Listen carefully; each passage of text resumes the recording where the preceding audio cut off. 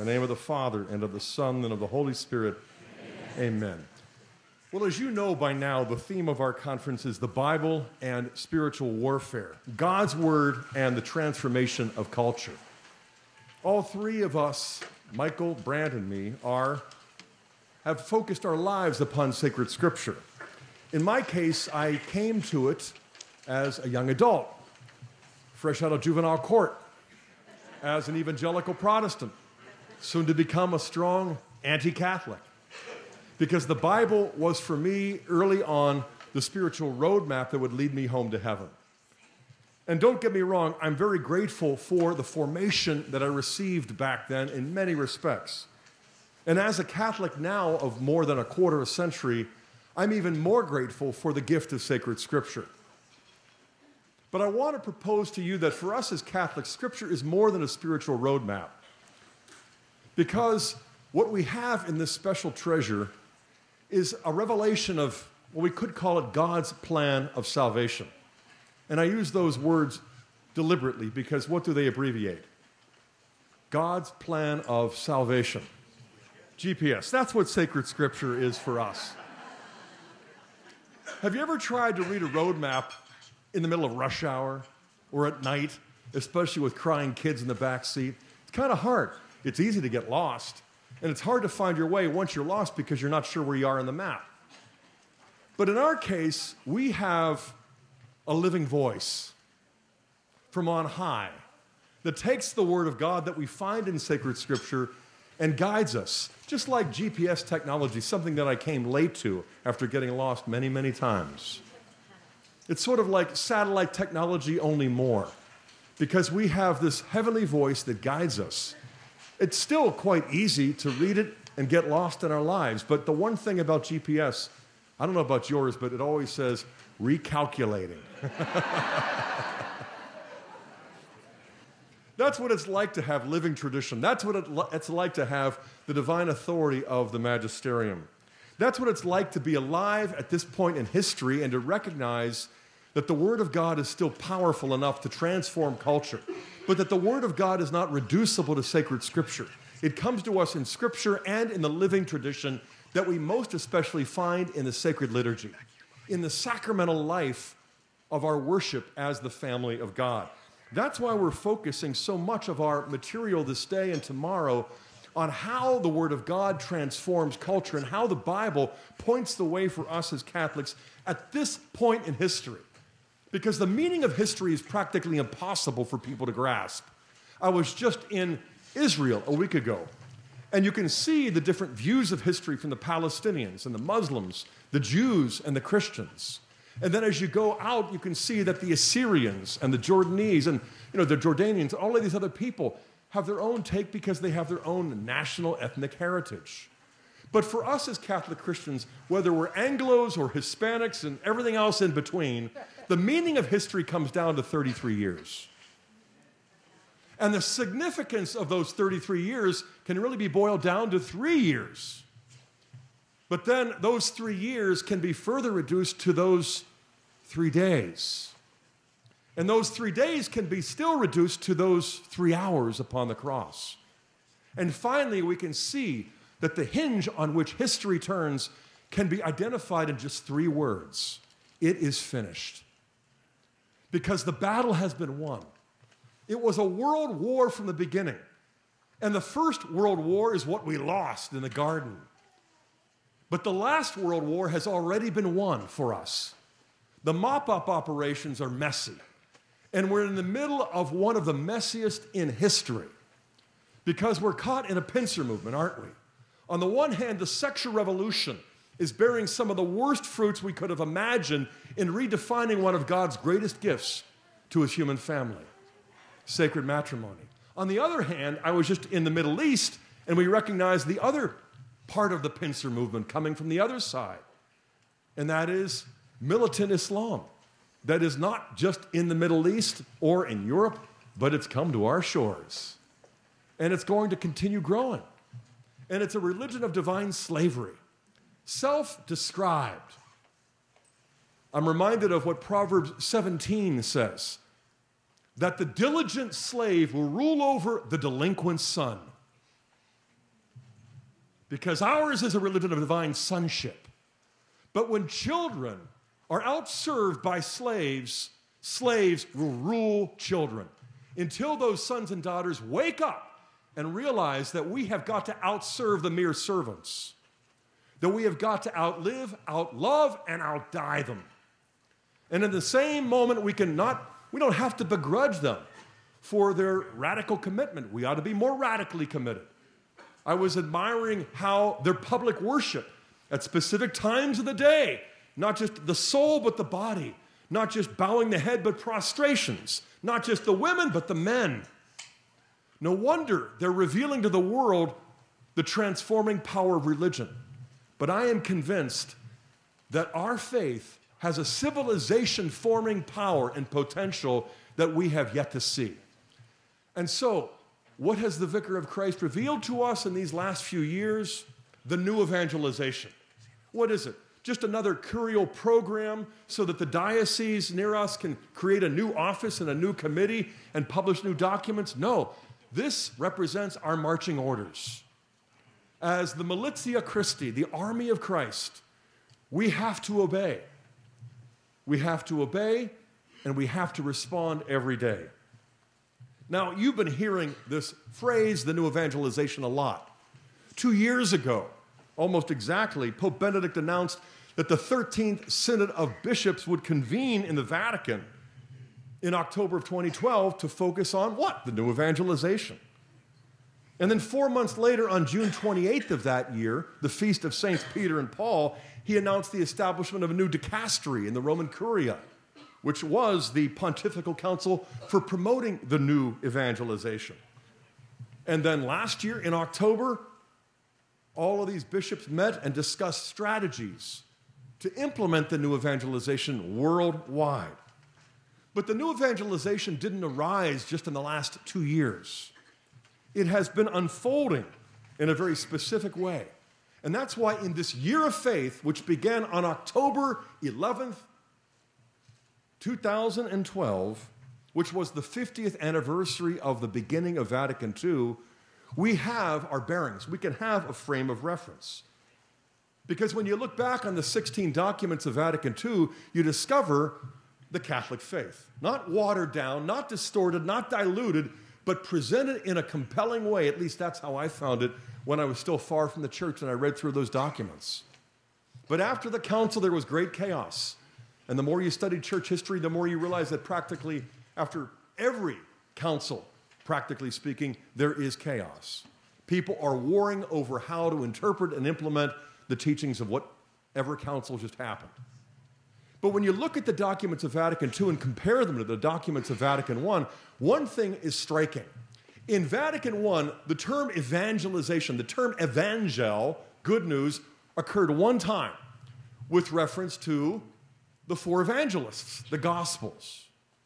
Whereas in the documents of Vatican II, the term evangelize, evangelizing, evangelization occur 206 times, more than in all the previous conciliar documents put together.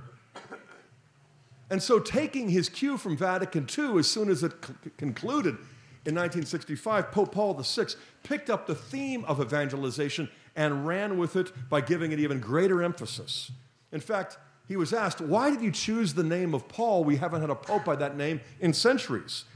And he explained that his desire was to pattern his ministry after the great apostle to the Gentiles, which he then enacted by becoming the very first pope in human history to make apostolic journeys to other continents, which he began doing in the middle of Vatican II by coming to America in 1964, as well as the Holy Land and India in 65. And then in 65 and 66, he went to Portugal and Turkey.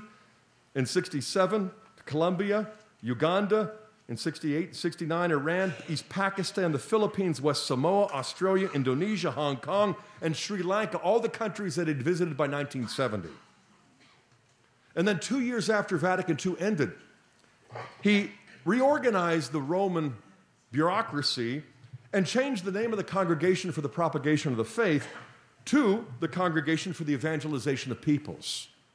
By the mid 70s, he convened a synod of bishops around the world to focus on evangeliz- evangelization in the modern world. And then in 75, he published what many consider to be the most important document of the concluding years of his ministry, Evangelii Nuntiandi, on evangelization in the modern world. And in this document, he states his thesis quite clearly and boldly. He declared that the most basic duty of the church is to evangelize the world. Quote, evangelization is in fact the grace and vocation most proper to the church, her deepest identity. She exists in order to evangelize.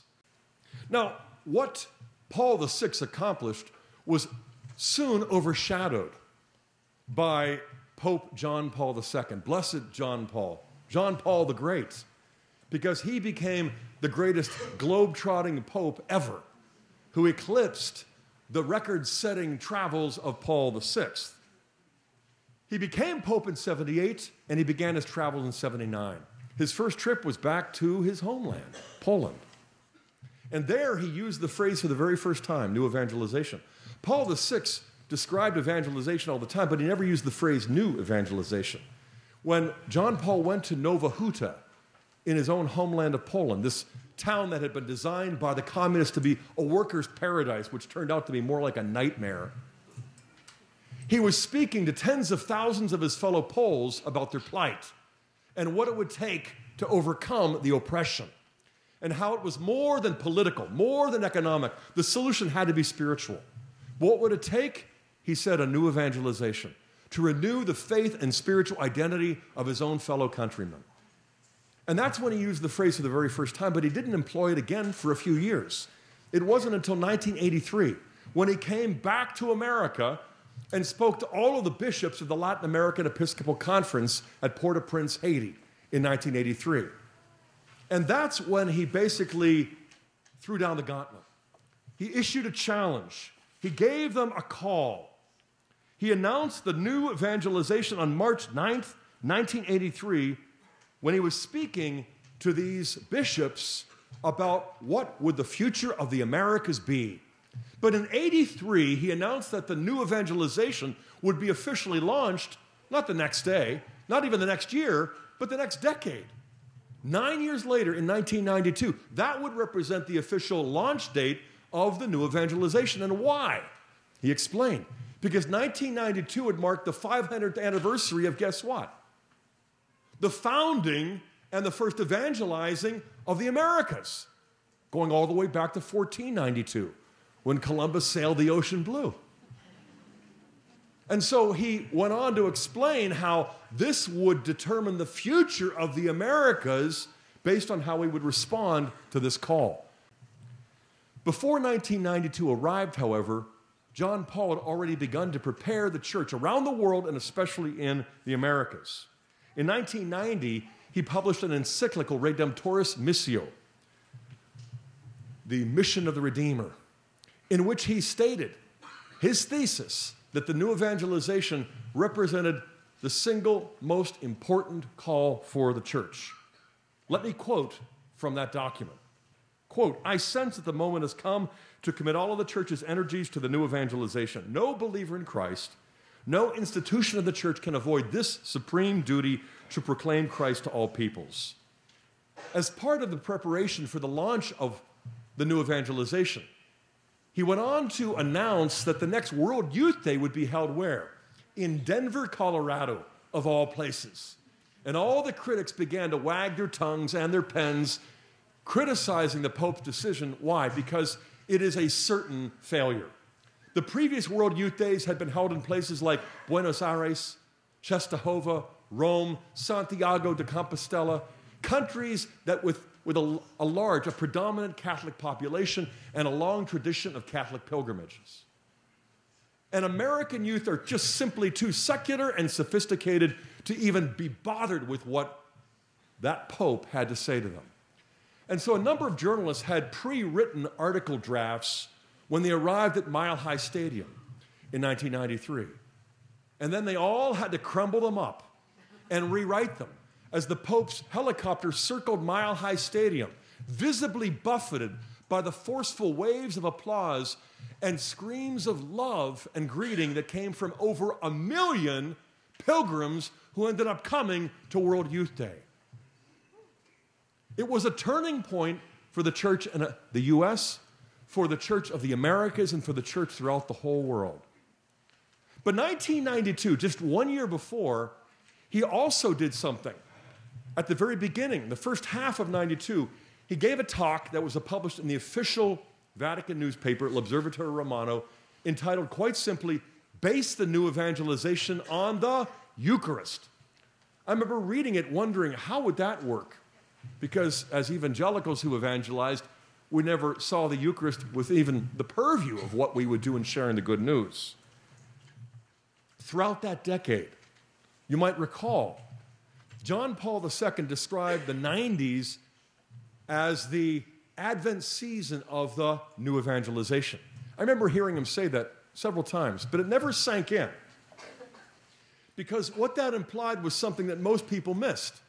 If the last decade of the 20th century represented the Advent season of the new evangelization, what is the season of Advent compared to the rest of the liturgical calendar? It's basically four weeks out of 52. In other words, when you're done with the 90s, by the analogy, you've got 48 more weeks to go after you've covered four. In other words, the new evangelization was never intended to be a short term project, some sort of interim strategy to sort of reinvigorate you know, a dying Catholic population in certain quarters of the world. This was a long term commitment, this was a long term plan, this was a long term strategy.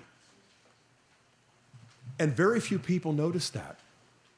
But one person who did back then was named Ratzinger. We know him today, of course, as Benedict XVI. And it's interesting because Ratzinger picked up on the two priorities of the new evangelization that John Paul would always say. John Paul identified the two main priorities for the new evangelization. Primary evangelization has been going on for 2,000 years without ceasing. And that is presenting Jesus to those who've never heard of him before, presenting the gospel to those who have never encountered Christ. But the new evangelization is what he identified with the, second, the secondary form. And that is re evangelization is required, as he put it, wherever Christians have lost a living sense of the faith and no longer consider themselves living members of the church. Gee, I, I wonder what he's talking about.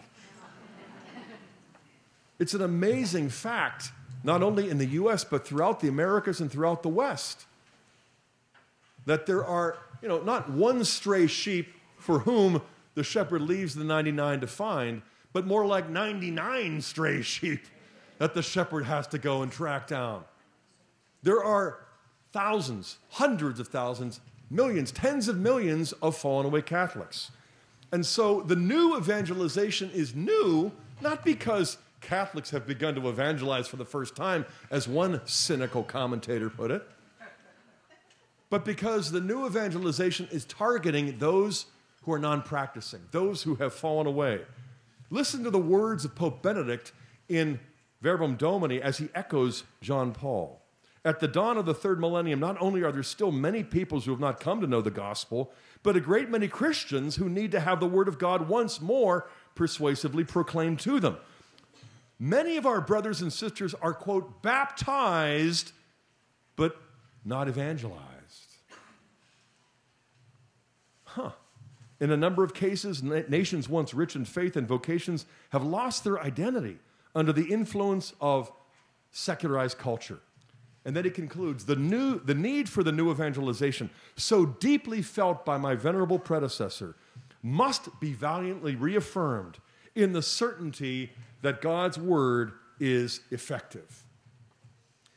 Benedict understood what many people didn't that the new evangelization was intended from the outset to be a long term strategy that would carry us across the threshold of the millennium into the 21st century, into the third millennium, and most likely well beyond our own lifetimes, if the analogy of Advent season applies.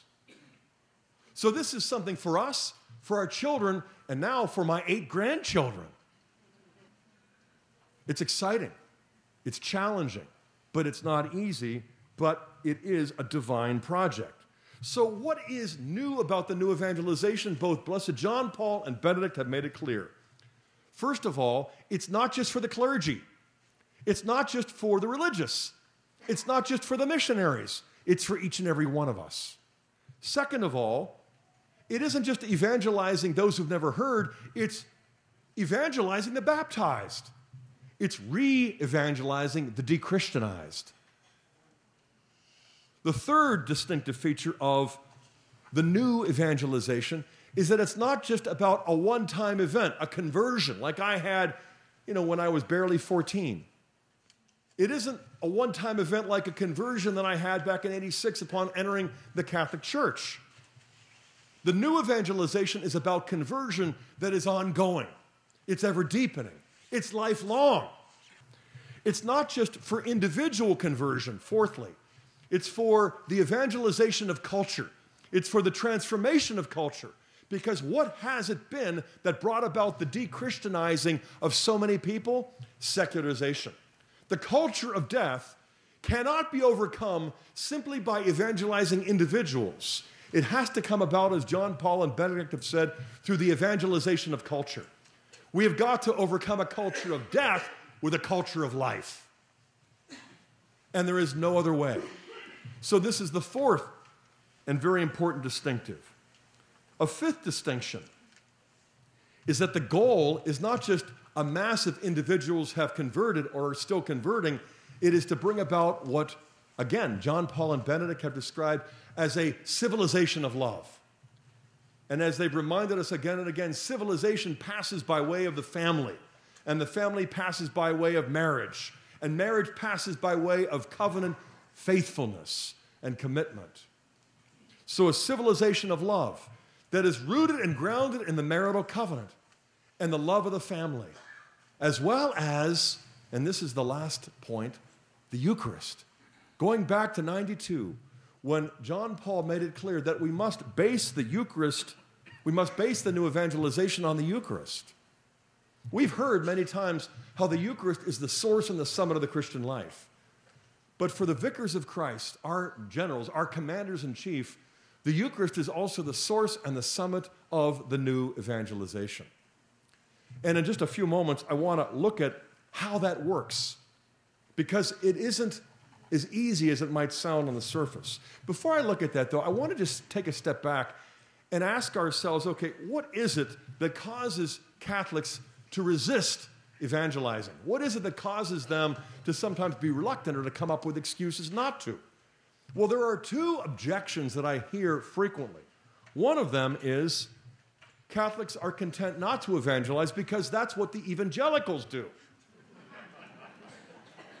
So let's let the evangelicals evangelize, and then we will use Catholic apologetics to turn their converts into ours.